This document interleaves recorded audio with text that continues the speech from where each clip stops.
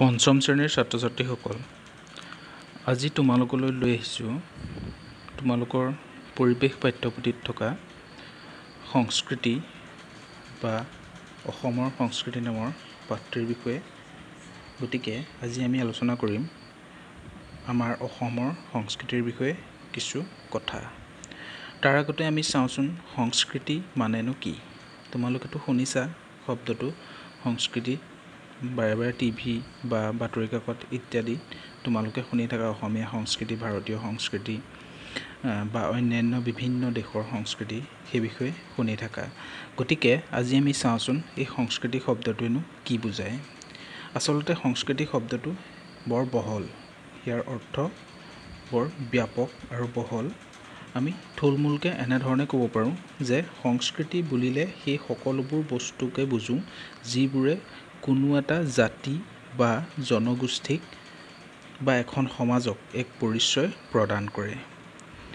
কোনোবা এখন সমাজ বা জাতি বা কোনোবা জনগোষ্ঠী এটাক এইটো কিছু কিছুমান বিশেষ তেওঁলোকৰ বস্তুৰ দ্বাৰা বা তেওঁলোকৰ কিছুমান বিশেষ নীতি নিয়ম ব্যৱহাৰ আচাৰ ব্যৱহাৰ সাজপাৰ ইত্যাদিৰ সহায়ত আমি তেওঁলোকক বিশেষ এটা বিশেষভাৱে তেওঁলোকক চিনি পাব পাৰোঁ। সেই যিবিলাক বস্তুৰ সহায়ত তেওঁলোকে এটা পৰিচয় পাইছে সেই গোটেই বস্তুবিলাককে আমি তেওঁলোকৰ সংস্কৃতি বুলি ক'ব পাৰোঁ।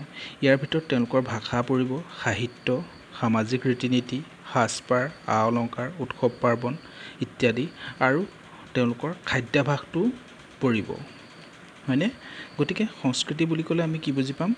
যে কোনো এখন সমাজক বা কোনো এটা জাতি বা জনগোষ্ঠীক ই এক পৰিচয় প্ৰদান কৰে আৰু ইয়াৰ ভিতৰত কি থাকিব? ভাষা সাহিত্য সামাজিক ৰীতি নীতি সাজপাৰ আ অলংকাৰ উৎসৱ পাৰ্বণ ইত্যাদি। আৰু এনেকুৱা সকলোবিলাক বস্তু যিবিলাকে সেই জাতি বা জনগোষ্ঠীটোক এক পৰিচয় প্ৰদান কৰে। উদাহৰণস্বৰূপে অসমীয়া অসমৰ সংস্কৃতি অসমৰ সংস্কৃতি বুলি ক'লে আমাৰ অসমৰ ৰীতি নীতি সাজপাৰ আ অলংকাৰ উৎসৱ পাৰ্বণ এই গোটেই সকলোবিলাক বস্তু সোমাই পৰিব।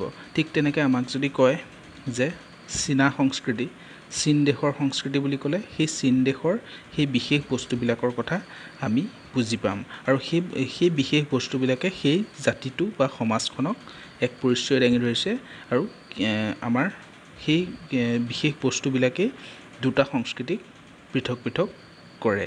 গতিকে সেই সংস্কৃতি বুলি ক'লে তোমালোকে বুজি পাবা যে তাত এটা তাত এটা বৰ বহল বস্তু বহল বিষয় আৰু সেই বিষয়টোৰ ভিতৰত আমাৰ সকলোবিলাক বস্তু সোমাই থাকিব। যেনে ভাষা সাহিত্য সামাজিক ৰীতি নীতি সামাজিক ৰীতি নীতি বুলি ক'লে তেওঁলোকে বিভিন্ন ধৰণৰ সামাজিক কাম কাজবিলাক কেনেধৰণে পৰিচালনা কৰে তেওঁলোকৰ নীতি নিয়মবিলাক কেনেকুৱা বিবাহৰ নীতি নিয়ম কেনেকুৱা ধৰ্মীয় নীতি নিয়ম কেনেকুৱা ইত্যাদি সকলোবিলাক পৰিব ঠিক তেনেকৈ সাজপাৰ বুলি ক'লে তেওঁলোকৰ কি ধৰণৰ সাজপাৰ বিভিন্ন সময়ত পৰিধান কৰে আ অলংকাৰ তেওঁলোকে কেনেকুৱা ধৰণৰ পৰিধান কৰে উৎসৱ পাৰ্বণ কেনেকুৱা ধৰণৰ পালন কৰে ইত্যাদি ইত্যাদি। এতিয়া আমি আহোঁ অসমীয়া সংস্কৃতিৰ বিষয়ে। অসমীয়া সংস্কৃতি মানেনো কি? তোমালোকক ইতিমধ্যে কোৱা হৈছে যে সংস্কৃতি হৈছে আমাৰ বিভিন্ন উপাদানৰ সমাহাৰ যেনে ভাষা সাহিত্য সাজপাৰ ৰীতি নীতি আৰু অন্যান্য বহুতো তাত সোমাই থাকে। ঠিক সেইধৰণে অসমীয়া সংস্কৃতি বুলি ক'লেও আমি সেই কথাখিনিকে বুজি পাম আৰু সেইখিনিক অসমীয়া সংস্কৃতিটোক সেইখিনিয়ে কেনেধৰণে গঠন কৰিছে অসমীয়া সংস্কৃতি বুলি ক'লে আমি কোনো এটা এইটোৱে অসমীয়া সংস্কৃতি বুলি কৈ দিব নোৱাৰোঁ। কাৰণ আমাৰ অসমত বিভিন্ন জাতি জনগোষ্ঠীৰ লোকে আমি একেলগে বসবাস কৰি আছোঁ। সেই সকলোবিলাক জাতি জনগোষ্ঠীৰ যি সাজপাৰ ৰীতি নীতি বা অন্যান্য ভাষা সাহিত্য সেই সকলোবিলাক লগ লাগি আমাৰ অসমীয়া সংস্কৃতিটো গঢ় লৈ উঠিছে। আৰু সেইকাৰণে আমি অসমীয়া সংস্কৃতিক এটা উমৈহতীয়া সংস্কৃতি বুলি কওঁ। এই সকলোবিলাক জাতি জনগোষ্ঠী বিভিন্ন ভাষা ভাষী মানুহে লগ লাগি আমাৰ অসমীয়া সংস্কৃতিটো গঠন কৰিছে। গতিকে তোমালোকে অসমীয়া সংস্কৃতি বুলি ক'লে সেই উমৈহতীয়া এটা সংস্কৃতিৰ কথা বুজি পাবা। এতিয়া আমি তোমালোকৰ পাঠ্যপুথিলৈ যাওঁ। তোমালোকৰ পাঠ্যপুথিত কোৱা হৈছে যে আমাৰ ৰাজ্য অসম বিভিন্ন জাতি জনগোষ্ঠীৰ মিলনভূমি জাতি উপজাতিৰ মিলনভূমি। ইয়াত থকা জাতিসমূহৰ লগতে জনজাতিসকলৰ ভাষা সংস্কৃতিকে গুৰুত্বপূৰ্ণ সংস্কৃতিয়ে গুৰুত্বপূৰ্ণ অৱদান আগবঢ়াই আহিছে।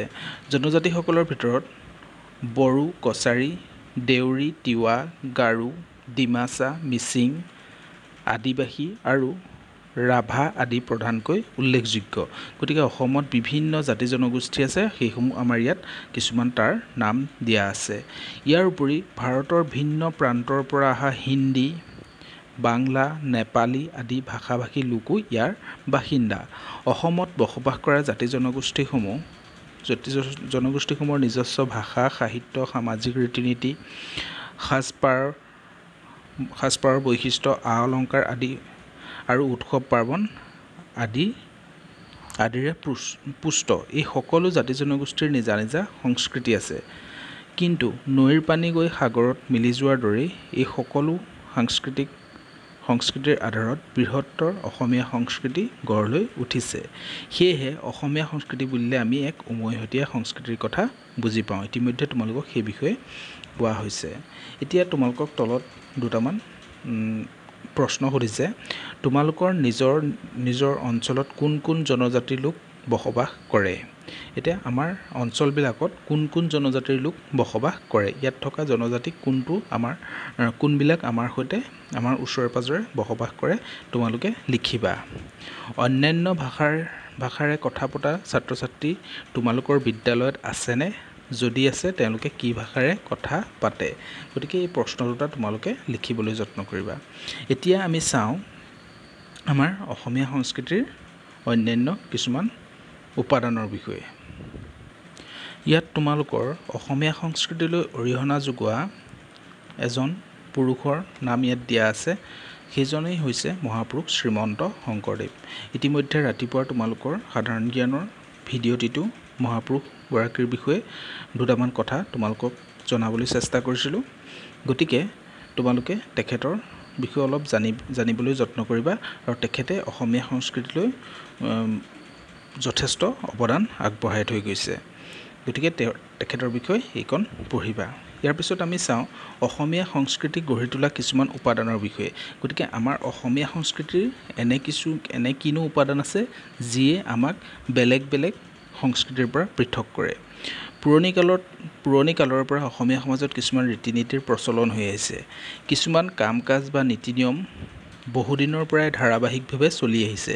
এই ৰীতি নীতিবোৰে সমাজখন সুশৃং শৃংখলাবদ্ধভাৱে চলিবলৈ সহায় কৰে। যেনে ঘৰলৈ আলহী আহিলে তামোল পাণ আৰু চাহ জলপান আগবঢ়োৱা পৰিয়ালৰ জ্যেষ্ঠজনক সন্মান কৰা কাতি বিহুৰ দিনা তুলসীৰ তলত আৰু খেতিপথাৰত চাকি জ্বলোৱা ইত্যাদি। ইয়াৰ উপৰিও আৰু আৰু আমাৰ অন্যান্য কিছুমান আমাৰ সংস্কৃতিৰ বৈশিষ্ট্য আছে সেইবিলাকো আমি পাই গৈ থাকিম। ইয়াৰ ইয়াতে তোমালোকক এটা কাম কৰিবলৈ দিছে। তোমালোকৰ অঞ্চলত সদায় চলি অহা কিছুমান ৰীতি নীতি উল্লেখ কৰি এখন তালিকা প্ৰস্তুত কৰা। আমাৰ অঞ্চলত চলি অহা ৰীতি নীতিবিলাকৰ বিষয়ে যেনে আমি ধৰা হ'ল আমাৰ সাজপাৰবিলাক কেনেকুৱা আমি কেনেধৰণৰ সমাজত বসবাস কৰোঁ হয়নে? আমাৰ পৰিয়ালবিলাক কেনেকুৱা ইত্যাদি ইত্যাদি তোমালোকে সেইবিলাক দুটামান তেনেকুৱা ধৰণৰ নীতি নিয়ম লিখিবলৈ যত্ন কৰিবা। ইতিমধ্যে তোমালোকে গম পাইছিলা যে ভাষা আৰু সাহিত্যও আমাৰ সংস্কৃতিৰে এটা অংগ আৰু অসমীয়া সংস্কৃতিটো বিভিন্ন আমাৰ জাতি জনগোষ্ঠীৰ ভাষা সাহিত্যৰ সমন্বয়ৰ ফলত সৃষ্টি হৈছে। গতিকে অসমীয়া ভাষা সাহিত্যত ই আমাৰ জনগোষ্ঠীয় যি উপাদান সেইবিলাকো আমাৰ পৰিলক্ষিত হয়। যেনে আমাৰ অসমীয়া বহুতো সাহি অসমীয়া সাহিত্যত বহুতো জনজাতীয় সাধুকথা বা অন্যান্য তেওঁলোকৰ প্ৰচলিত নীতি নিয়মৰ বিষয়ে উল্লেখ পাওঁ। তেনেকুৱা উদাহৰণ আমাৰ ৰং বং তেৰাঙৰ লেখনিসমূহত সুন্দৰভাৱে আমি দেখিবলৈ পাওঁ আৰু লগতে অন্যান্য জনজাতীয় যিসকল লেখক লেখিকা আছে তেওঁলোকে তেওঁলোকৰ যি লেখনি তাৰ যোগেদি সেইবিলাক প্ৰতিফলিত হয়।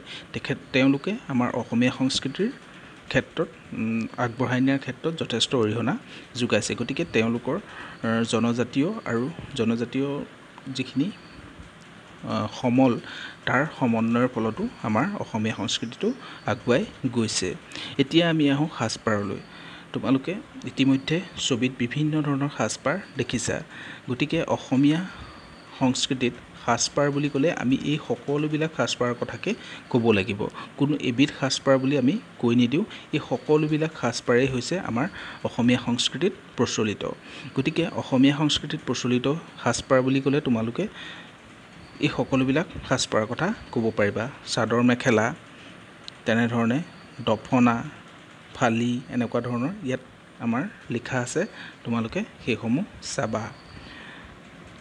ইয়াত বিভিন্ন ধৰণৰ আমাৰ জনজাতিসকলে কোনটো জনজাতিৰ পুৰুষ আৰু মহিলাই কেনেধৰণৰ সাজপাৰ পিন্ধে ইয়াত লিখা আছে। কোনো এটা জাতিৰ সাজপাৰে সেই জাতিটোৰ সংস্কৃতিৰ পৰিচয় দিয়ে। অসমত বাস কৰা বিভিন্ন জাতি আৰু জনজাতিসকলে নিজা নিজা সাজপাৰ আছে সাধাৰণতে অসমৰ মহিলাসকলে ৰিহা মেখেলা চাদৰ আদি পিন্ধে। পুৰুষে ধুতি চেলেং চাদৰ কুৰ্তা আদি পিন্ধে। জনজাতীয় লোকসকলে নিজৰ নিজৰ সাজপাৰ আছে তেওঁলোকৰ সাজপাৰ সাধাৰণতে উজ্জ্বল ৰঙৰ হয়। যুগৰ লগত মানুহৰ সাজপাৰৰো পৰিৱৰ্তন ঘটে। সেয়েহে আজিকালি পুৰুষে লং পেণ্ট শ্বাৰ্ট পায়জামা আৰু মহিলাসকলে শাৰী চুৰিদাৰ আদিৰো পৰিধান কৰা দেখা যায়। গতিকে তোমালোকে অসমীয়া সংস্কৃতিৰ যিবিলাক সাজপাৰ আছে অসমীয়া জনজাতিসকলে যিবিলাক সাজপাৰ পৰিধান কৰে তাৰ এখন তালিকা দিয়া আছে। তোমালোকে চাবা। ইয়াৰ পিছত আমি চাওঁ কিছুমান বাদ্যযন্ত্ৰৰ চৰি কিছুমান আমাৰ আ অলংকাৰৰ বিষয়ে। তোমালোকে ছবিত দেখিবলৈ পাইছা বিভিন্ন ধৰণৰ আ অলংকাৰ যেনে ঢোলবিৰি জোনবিৰি গামখাৰু হয়নে? থুৰীয়া ইত্যাদি। এইবিলাক হৈছে কি? অসমীয়া সমাজত আ আ অলংকাৰৰ অতি গুৰুত্ব অতি বেছি। আমাৰ বিবাহ বা অন্যান্য বিভিন্ন অনুষ্ঠানত আমাৰ মহিলাসকলে আ অলংকাৰ পৰিধান কৰে। আৰু এইবিলাক আমাৰ প্ৰচলিত কিছুমান আ অলংকাৰ হৈছে কেৰু জোনবিৰি ঢোলবিৰি গামখাৰু লুকাপাৰা খোপা ফুল কাণফুল গলপতা আঙুঠি থুৰীয়া দুগদুগী নাকফুল ইত্যাদি। এই গোটেইবিলাক হৈছে আমাৰ অসমীয়া সংস্কৃতিৰ কিছুমান আ অলংকাৰ। ঠিক সেইদৰে আমাৰ কিছুমান বাদ্যযন্ত্ৰ আছে। আমাৰ উৎসৱ পাৰ্বণ বা অন্যান্য অনুষ্ঠানত সেই বাদ্যযন্ত্ৰসমূহ বজোৱা হয়। ঠিক তেনেদৰে আমাৰ অসমৰ উৎসৱ বুলি ক'লে সাধাৰণতে আমাৰ বিহুটিকে আমাৰ মনলৈ আহে। বিহু হৈছে এবিধ কৃষিভিত্তিক উৎসৱ। আমাৰ আমাৰ আচলতে ভাৰতৰ বেছিভাগ উৎসৱেই কৃষিভিত্তিক উৎসৱ। ভাৰত এখন কৃষিপ্ৰধান দেশ গতিকে আমাৰ ইয়াৰ বেছিভাগ উৎসৱ কৃষিৰ লগত জড়িত। আমাৰ জাতীয় উৎসৱ বুলি ক'লেও আমাৰ সাধাৰণতে অসমৰ বিহুটিকে আমি বুজোঁ। আমাৰ অসমত প্ৰায় সকলোবিলাক মানুহেই বিহু পালন কৰে।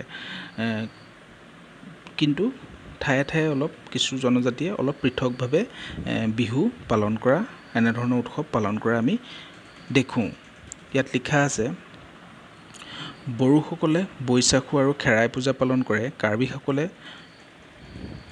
ৰং ঝংকাৰ আৰু হেঁচা মিচিংসকলে আলি আই লৃগাং পালন কৰে।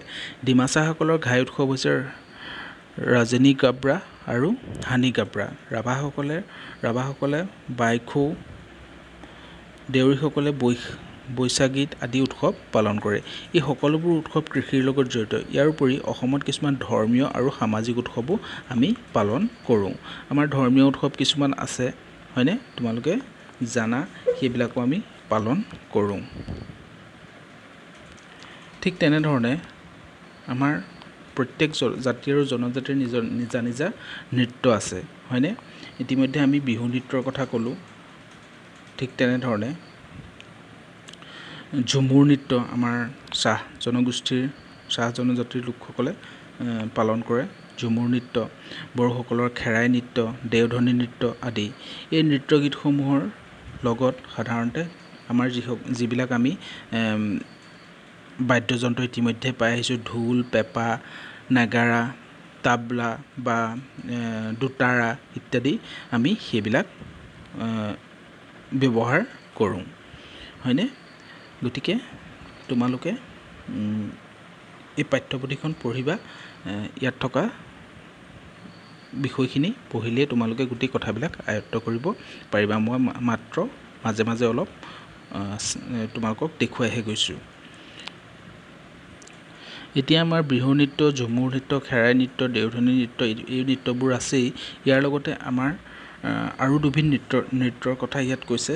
পুতলা নাচ আৰু ওজাপালি তোমালোকৰ অসমীয়া পাঠ্যপুথিত ওজাপালিৰ বিষয়ে আছে তোমালোকে পিছলৈ পাবাগৈ। এইবিলাকত কিছুমান আমাৰ ৰামায়ণ মহাভাৰতৰ কিছুমান কাহিনী পুতলাৰ জৰিয়তে মানুহৰ মাজত দাঙি ধৰা হয়। এতিয়া আমাৰ খাদ্য।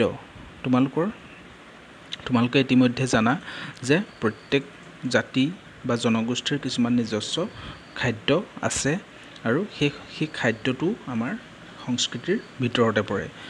অসমীয়া মানুহক খোৱা বোৱাত স্বকীয় অসমীয়া মানুহৰ খোৱা বোৱাত স্বকীয় বৈশিষ্ট্য আছে। অসমৰ মাটি ধান খেতিৰ বাবে উপযোগী। সেইবাবে অসমৰ মানুহৰ প্ৰধান খাদ্য হৈছে ভাত। তাৰোপৰি অসমৰ মানুহৰ চাউলৰ পৰা বিভিন্ন খাদ্যবস্তু তৈয়াৰ কৰি লয়। এই খাদ্যবোৰ হ'ল চিৰা মুড়ি হুৰুম আখৈ সান্দহ কৰাইগুড়ি কোমল চাউল তিলপিঠা ঘিলাপিঠা আদি। ইয়াৰ উপৰি অসমৰ মানুহে নানা ধৰণৰ শাক পাচলি ফল মূল আদি আহাৰ হিচাপে গ্ৰহণ কৰে। গতিকে আমাৰ অসমীয়া মানুহৰ আমাৰ অসমত সাধাৰণতে ধান খেতি ভাল হয় আৰু এই ধান খেতিৰ পৰা আমি কি তৈয়াৰ কৰোঁ? চাউল তৈয়াৰ কৰোঁ। চাউল পাওঁ আৰু সেই চাউলৰ চাউলৰ পৰাই আমি বিভিন্ন ধৰণৰ খাদ্যবস্তু তৈয়াৰ কৰি লওঁ। ইয়াত সেইসমূহ সেইসমূহৰ তালিকা দিয়া আছে। গতিকে এই পাঠটোৰ মূল কথাটো হ'ল যে আমি কি বুজি পাব লাগিব সংস্কৃতি মানেনো কি সেই বিষয়টো এটা সম্যক ধাৰণা দিবলৈ তোমালোকক যত্ন কৰিছে। আৰু লগতে অসমীয়া সংস্কৃতিৰ কথাটো তোমালোকক তোমালোকৰ আগত দাঙি ধৰিছে।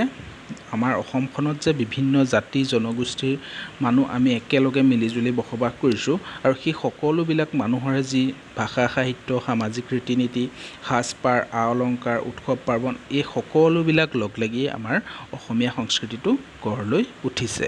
গতিকে পাঠটিৰ জৰিয়তে তোমালোকক সংস্কৃতিৰ বিষয়ে সামান্য ধাৰণা দিয়াৰ লগতে আমাৰ অসমীয়া সংস্কৃতিটো কি ধৰণে গঠন হৈছে আৰু অসমৰ বিভিন্ন জাতি জনগোষ্ঠীৰ লোকসকলে কি ধৰণে তেওঁলোকৰ নিজা নিজা উৎসৱ পাৰ্বণ বা সাজপাৰ অন্যান্য নৃত্য সেইবিলাক সেইবিলাক তেওঁলোকে পালন কৰে সেই সকলোবিলাক পাঠটোৰ জৰিয়তে তোমালোকক দিবলৈ যত্ন কৰিছে। গতিকে তোমালোকে পাঠ্যপুথিৰ পাঠটো খুব মন দি এবাৰ পঢ়িবা আৰু ভিডিঅ'টিও চাবা। তাৰপিছত যদি ক'ৰবাত কিবা তোমালোকৰ অসুবিধা হয় বা নুবুজা শব্দ থাকে তোমালোকে জনাবা।